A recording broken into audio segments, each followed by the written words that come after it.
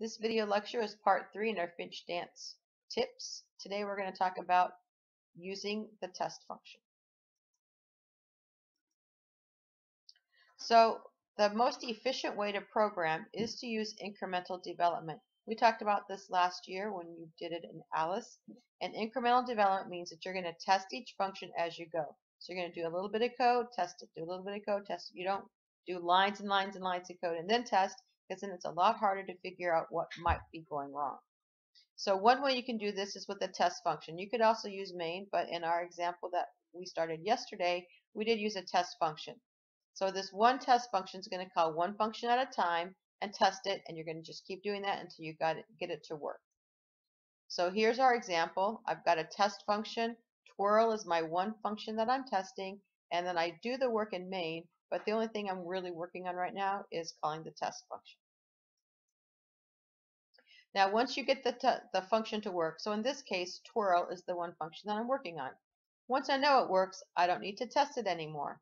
So I'm going to start a new function for my dance steps and I'm just going to call it in the test function, but just that one.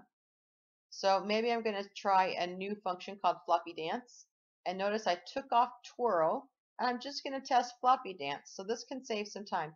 I know twirl works. I don't need to test it anymore. I'm just going to test my one new function. So this is a good pro process to use in any program, not just with your Finch robots, but just testing as you go that one function. Once you know it works, don't keep running it. It kind of wastes your time.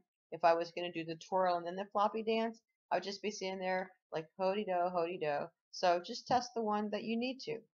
I didn't have to change main at all. I just changed the one function call in test.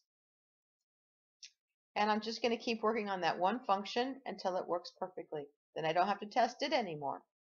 I change the function call and test for just each new function. So every time I try a new dance step, I'm just going to test that one function.